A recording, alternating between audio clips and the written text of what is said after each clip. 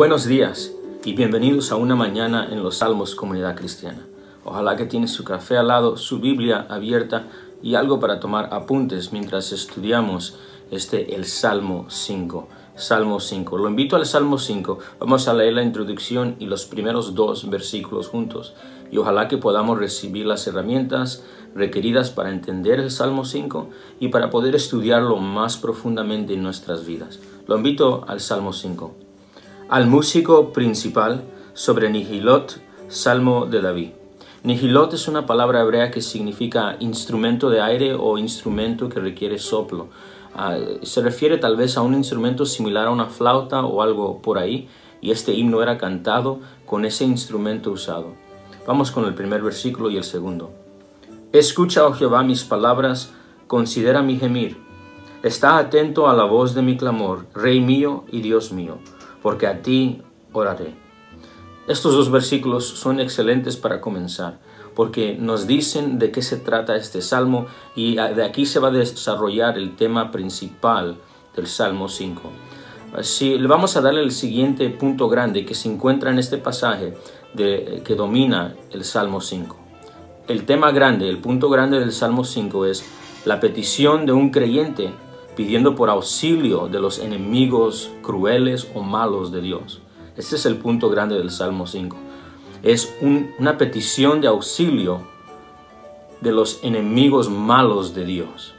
Esto no es difícil ver. Vamos a ver esto rápidamente en los primeros versículos para ver que esto es una petición. Este himno está presentando una petición.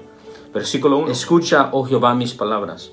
Mire la segunda línea del versículo 1. Considera. Mire el versículo 2. Está atento a la voz.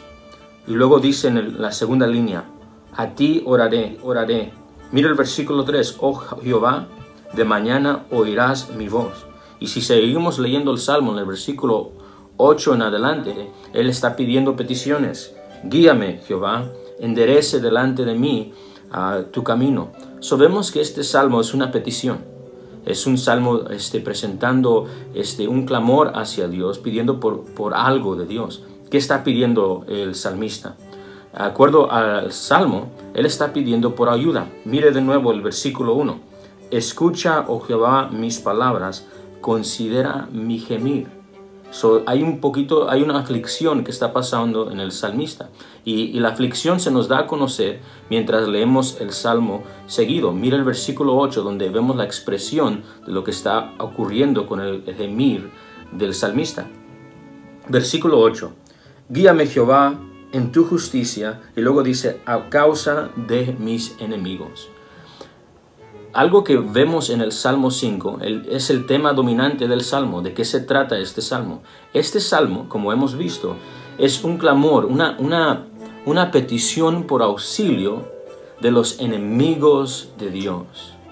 Y, y, los enemigos de Dios se nos dice que no son simplemente los enemigos de David, sino que son los enemigos de Dios que están atacando el salmista. En el versículo 8 vimos a causa de mis enemigos, pero algo interesante es que estos enemigos primordialmente son los enemigos de Dios que ahora se están oponiendo al salmista. Lo voy a invitar a que vea este, el versículo 10, la última línea del versículo 10, donde David habla de los enemigos que lo están atacando. Dice de ellos, ellos se rebelaron contra ti. Ah, en otras palabras, el salmo se trata de, de un auxilio. Ayúdame, Señor, porque los enemigos tuyos están contra mí y son malos, son impíos. De esto mismo se trata el Salmo 5. Vamos a hacer una segunda observación. El Salmo 5 tiene conexión con el Mesías del Salmo 2. El Salmo 5 tiene conexión con el Mesías del Salmo 2. ¿Se recuerda cuando empezamos una mañana en los Salmos? Una de las cosas que, les mencioné que va a ser clave para entender todo el libro de los Salmos, este himnario de Israel, va a ser recordar que el Salmo 1 y el Salmo 2 son las llaves para entender el resto de los salmos. En cada uno de estos salmos vamos a encontrar referencias que nos dirigen para atrás al Salmo 2. Por ejemplo, Recuérdese que en el Salmo 2, la imagen que estamos viendo, las, las, imágenes vívidas, son, empieza el Salmo 2 con una rebeldía de los habitantes de la tierra, ¿se recuerda? Ah, están diciendo, vamos a deshacernos de las cuerdas y del señorío de Dios. Y Dios responde a esto diciendo, pues esta tierra me pertenece a mí. Y en el versículo 6 del Salmo 2 dice, yo voy a establecer el reino y el trono de mi Mesías, mi Mesías y dice que lo va a establecer en Sion. Y luego después de esto les da una advertencia a los habitantes de la tierra, después de que establece su rey y su Mesías en la tierra, y les dice, mi rey va a gobernar, él es mi hijo, yo lo engendré y, y le voy a dar a él, acuerdo al versículo 6 en adelante, las herencias, la tierra. Y luego escuchamos que el que no, no esté escuchando estas advertencias, en el versículo 9 del Salmo 2, dice que Él los va a desmenucer como, como una, una, vasija del alfarero y que lo va a hacer con un este cetro de, de hierro. Y aquí lo que estamos viendo es una imagen del Rey de Dios enfrentando a sus enemigos y los va a destruir. No hay ninguna oposición en el Salmo 2. El Mesías de Dios va a reinar. Vemos la supremacía del Mesías de Dios sobre la tierra, tomando para atrás lo que le pertenece a Él. Y luego siga conmigo un poquito más, porque si se recuerda, en el Salmo 2, el rey de Yahweh, el rey de Jehová, da misericordia a los enemigos. ¿Se recuerda el versículo 10 en adelante? En el versículo 10 en adelante, el Mesías le dice, considerar sus decisiones, ah, recibid amonestación, déjense enseñar. Y luego hay la, un imperativo misericordioso, donde Dios dice, honrad al Hijo o besad al Hijo le está dando una oportunidad de arrepentirse. Le está dando una oportunidad ofreciendo misericordia y paz a estos enemigos y habitantes de la tierra en el Salmo 2. Y al final del Salmo 2, no se olvide esto, dice, bienaventurados todos los que en Él encuentran refugio o los que en Él confían. Esa frase es muy importante porque la vamos a encontrar repetida en los salmos y lo vamos a encontrar aquí en el Salmo 5. Bienaventurados todos los que en Él confían, o la palabra puede ser traducida, encuentran refugio. La idea ahí es que esta persona puede encontrar perdón y misericordia y hay gozo. Bienaventurado significa eso, dichísimo, felicísimo, porque ha encontrado perdón cuando era enemigo de Dios por medio del Mesías. Ahora, Ah, recuérdese que la segunda observación del Salmo 5 es que el Salmo 5 tiene conexión con el, eh, el, Salmo 2. Déjeme demostrarle esto en el Salmo 5. Vaya conmigo a este, el Salmo 5 en particular, vaya conmigo al versículo 11, porque vamos a ver algo que nos va a dirigir hacia el Salmo 2. Dice, alégrense todos los que en ti confían. Después de que el salmista en el Salmo 5 habló en el versículo 10 de los enemigos que se están rebelando en contra de Dios, el salmista luego usa en el versículo 11, dice, pero todos que alegrense todos los que en él han confiado. Confiado es la palabra hasá. Y hasá es esa palabra hebrea, fue exactamente la misma palabra que se usó en el Salmo 2.12. Bienaventurados, Ashrei, todos los que en Él hasá, todos los que en Él confían, encuentran refugio en el Hijo. De nuevo, el salmista nos está conectando al Salmo 2. En otras palabras, parece ser que el salmista es uno de los que ha confiado a Hasá en el Hijo y en el Mesías de Dios. Y está recordándose, los que han confiado en Él en verdad son bienaventurados, son dichísimos, son alegres, ellos están protegidos, ellos están bajo la cobertura de Dios. Esto también lo vemos de nuevo en el Salmo 5, en el versículo 2. Mire lo que dice el salmista cuando comienza el Salmo 5. Dice, está atento a la voz de mi clamor, Rey mío y Dios mío. Esto también es una frase que nos liga de nuevo al Salmo 2, nos lleva al versículo 6 del Salmo 2, donde Jehová responde a los enemigos diciéndole, yo he puesto a mi rey sobre mi santo monte Sión y esto no va a cambiar. O sea, el salmista está regresando a esas frases y trayéndolas de nuevo al Salmo 5. Lo que estamos viendo y lo que deseo que veamos para entender el Salmo 5 es que el Salmo 5 por, lo que está diciendo el autor, está ligado y tiene conexión con el Salmo 2. Veamos el trasfondo del Salmo 5 por medio del contexto del Salmo 2. O sea, recuérdese eh, este, ah, el punto grande del Salmo 5. El punto grande del Salmo 5 es pidiendo, el creyente está pidiendo un auxilio de Dios por los enemigos de Dios que lo están atacando. Ahora, recordémonos la conexión del Salmo 5 con el Salmo 2. Esta es la imagen que estamos viendo. Quédese conmigo. La imagen que estamos viendo es esto.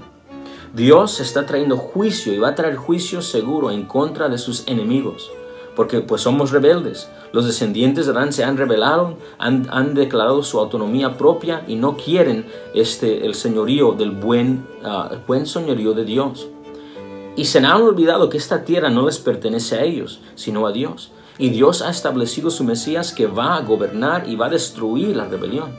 Pero Dios en su misericordia, por medio de este Hijo, está ofreciendo perdón hacia los rebeldes. Y Él les ofrece misericordia por medio del Hijo. Pero no todos están recibiendo esa misericordia. Algunos, por, la, la buena voluntad de Dios, han reconocido que son enemigos y han venido hacia el Hijo del Salmo 2 diciendo, ten piedad de mí, ten misericordia de mí, quiero tu paz, tú eres un buen rey. En cierta manera lo que estamos viendo es los rebeldes humillando sus corazones hacia el Hijo. Y de ahí se transfieren del reino de tinieblas y de autonomía propia al buen señorío del Hijo. Pero esto es la situación. Al momento que hacen eso, al momento que hay esa transformación por medio de Dios en cambiarlos de hijos de ira, a hijos de herencia por medio del Hijo y el Mesías, todavía están los habitantes, los malos que están en contra de Dios. Y ahora parece ser que los malos no solamente están en contra de Dios, sino en el Salmo 5 vemos que ahora los malos, los impíos, los que no quieren el gobierno de Dios, ahora están en contra del rey, su gobierno y su reino están en contra del pueblo que se ha humillado y se ha sometido bajo el señorío de Dios.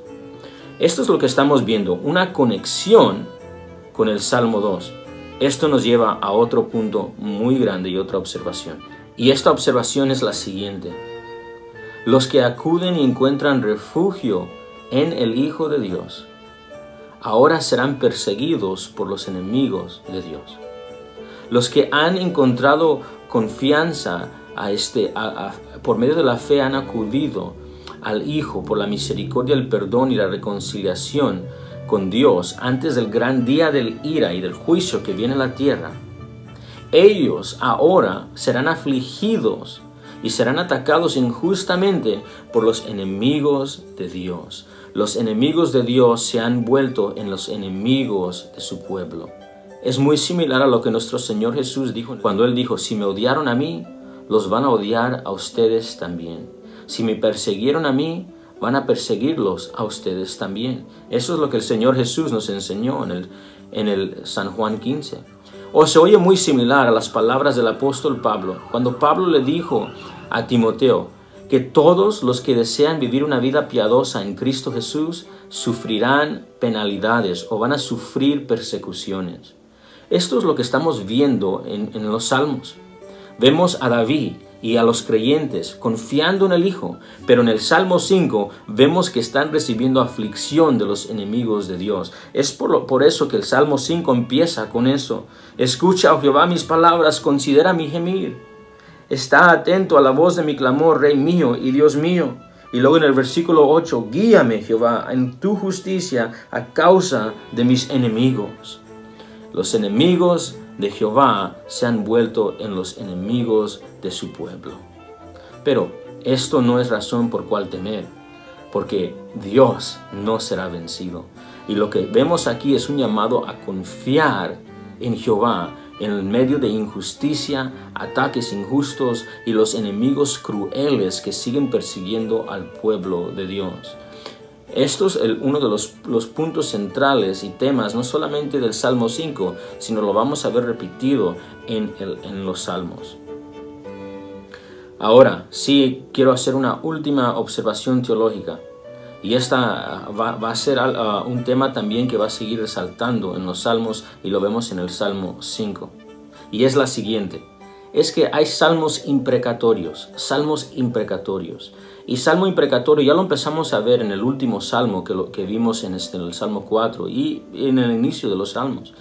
Imprecatorio se refiere a un salmo, viene de una palabra que, que se refiere a, a palabras que expresan el daño de los enemigos, palabras que expresan daños a los enemigos. Por lo tanto, salmos imprecatorios tienen que ver que a veces dentro del salmo hay palabras, sea que vienen de la boca de Dios o vienen de la boca del salmista, que expresan daño hacia los enemigos. Y esto ha causado a muchos creyentes a moverse un poco porque dicen, ¿qué no nuestro Señor Jesús nos enseñó a voltear la otra mejilla? ¿Qué no fue que nos dijo que oráramos por nuestros enemigos? Seguramente esto es cierto, y seguramente esto no contradice cuando veamos un salmo imprecatorio, salmos que ofrecen expresiones acerca del daño a los enemigos. Y esto es lo que aparentemente estamos viendo en estos salmos. Lo invito a que lo observemos en el Salmo 5. Escuchemos lo que el salmista pide en el versículo 10. Dice, Castígalos, oh Dios, caigan por sus, por sus mismos consejos, por la multitud de sus transgresiones, échalos fuera, porque se rebelaron contra ti. Aquí vemos ese, ese tono eh, imprecatorio del Salmo, palabras expresando este, un daño hacia los enemigos. ¿Qué es lo que está ocurriendo con los salmos imprecatorios? ¿Qué es lo que Dios quiere que veamos en estos salmos? Pues quiero compartir con ustedes por lo menos tres observaciones acerca de los salmos imprecatorios para poder entenderlos. Primero, recordémonos que ya Dios estableció juicio en contra del mundo impío. En el Salmo 2 así lo vimos. Él va a desmenuzar a los enemigos como una vasija del alfarero y va a quitarlos de esta tierra, va a castigarlos. Y nosotros sabemos que Dios traerá castigo eterno hacia el impío. So, cuando Dios hace esto, nadie puede decir que Él es injusto. Recordemos que Dios es santo y justo y Él ha sido ofendido por la humanidad. Se han opuesto en contra de Él. Y Dios en su buena justicia, en su rectitud, tiene que corregir y traer castigo al impío y al rebelde. Que nadie lo acuse a Dios de injusticia cuando sabemos que Él tiene que establecerla y esto significa traer juicio al impío. Y esto es, eh, significa que Dios es bueno hacerlo. Ninguno de nosotros vamos a decir que un juez debe de dejar ir a alguien violento en las calles. Todos vamos a afirmar, no, ese juez debe de hacer algo acerca de, esa ofensa, esa ese, violencia. Así que lo primero que tenemos que observar acerca de los salmos imprecatorios es que Dios es santo y va a traer juicio seguro hacia todo impío. Y esto incluye a usted y a mí si no hemos venido y acudido al Hijo. Esto nos lleva a la segunda observación acerca de los salmos imprecatorios. Cuando veamos estas palabras que expresan daño hacia los enemigos, no nos olvidemos que Dios es justo y va a traer juicio. Y segundo, que Dios, aunque es justo y va a castigar al impío, ha ofrecido misericordia en su Hijo.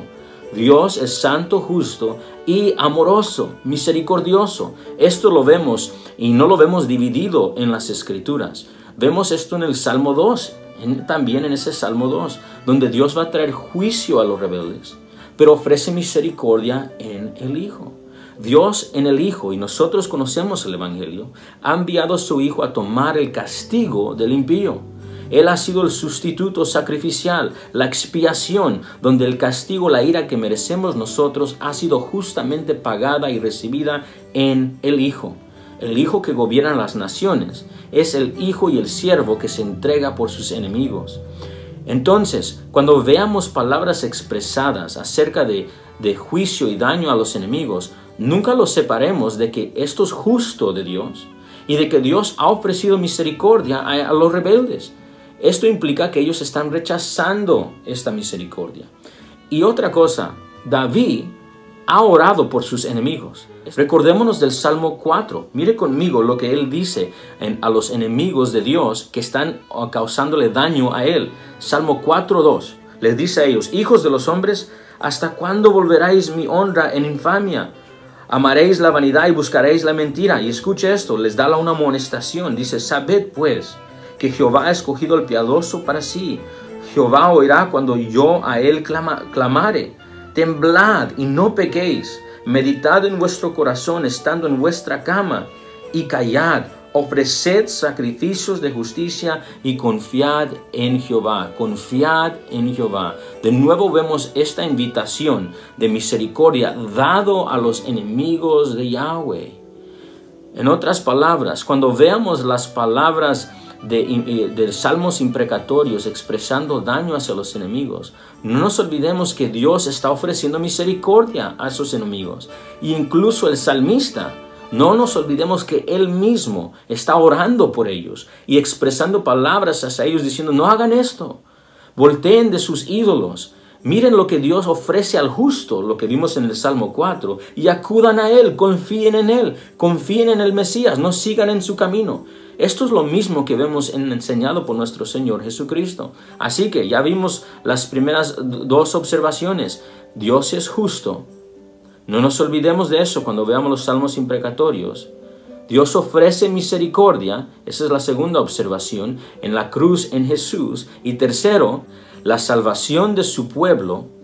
Cuando Dios conteste la petición de David, automáticamente significa que al contestar su petición y rescatarlo de los ataques violentos del impío, automáticamente significa que esto traerá juicio hacia el impío. Esto es lo que estamos viendo aquí. Y de nuevo, una, una, ilustración que me ha ayudado a entender un poco acerca de los salmos imprecatorios, estas expresiones de daño, eh, es la siguiente. Imagínese esto. Hay alguien en su vecindario que usted ha tratado de alcanzar este, con el Evangelio le, ha podido, le, han mandado tratados, usted ora, está orando llorando por esa, esa persona en la noche, pero esa persona no está escuchando, esa persona no quiere el perdón del Mesías y no lo quiere a usted. Así que empieza a perseguirlo y un día, este, después de perseguirlo y perseguirlo, ya le has caído tan mal que él ha decidido juntar a sus enemigos y venir entre la noche a buscar tu casa. Lo, te va a perseguir por seguir al Mesías y estás durmiendo con tu familia, cada persona en su hogar, y quebran la ventana, vienen combates, pistolas, navajas, y entran a tu casa, tu corazón empieza a palpitar y tú te levantas y vas a, decirles, cálmense, no hagan esto, pero empiezan a causarte daño y empiezan a causar daño a tu familia. Entonces tú vas y clamas a Dios diciendo, Señor, Señor, ayúdame, ayúdame. El Salmo 5, levántate y escucha mi voz. Cuando Dios escucha la voz del, justo que ha confiado, automáticamente significa que al salvar y rescatar a su pueblo del impío, esto implica que la mano o la fuerza del violento se va a quebrar. Eso es lo que va a suceder mientras los golpes caen y los golpes caen a los que amamos y pedimos auxilio y le hemos dado advertencia. Es Dios quien trae juicio hacia ellos que iba a venir y va a venir seguramente. El salmo imprecatorio no es un deseo de que Dios traiga mal hacia nuestro prójimo. Es una verdad de que si el enemigo de Dios, que nosotros nosotros éramos enemigos en algún punto, no voltea de sus caminos, cuando Dios rescate a su pueblo, automáticamente va a traer el juicio hacia el impío que ataca el nombre de Dios y a su pueblo. No es un deseo de mal, es una verdad y una advertencia hacia el impío. Con eso en mente, en el Salmo 5 vemos dos cosas. Vemos un ánimo para que al confiado en Jehová y su Mesías. Porque Dios está atento y le está diciendo mantente en tu lugar de, fe y confianza. Alégrate porque el fin no será violencia para ti. El fin no será el juicio para ti, pues el Hijo lo ha tomado. So, iglesia, animaos. Animaos en la injusticia. Orad por vuestros enemigos. Pero también, segundo, Vemos en el Salmo 5 una, advertencia de nuevo, misericordiosa, por medio de Dios, por medio del salmista, por medio de las escrituras, hacia el que está causando daño al pueblo de Dios, pero aún más odiando las cosas de Dios. Son enemigos que se han rebelado en contra de Dios, acuerdo al Salmo 5. Eh, siguen causando ah, eh, blasfemias hacia Dios, rehusando, sometiéndose al buen señorío del Mesías que fue crucificado por sus enemigos y ahora están persiguiendo a su pueblo. Oh, recordemos estas verdades en nuestras injusticias. Recordemos que Dios es fiel a sus promesas y como el salmista presentemos nuestras peticiones en la mañana confiando en Dios. Esto es el punto grande del Salmo 5. Creyente, confía en tu Dios en la injusticia y presenta tus peticiones delante de Él, que Él traerá auxilio en su debido tiempo.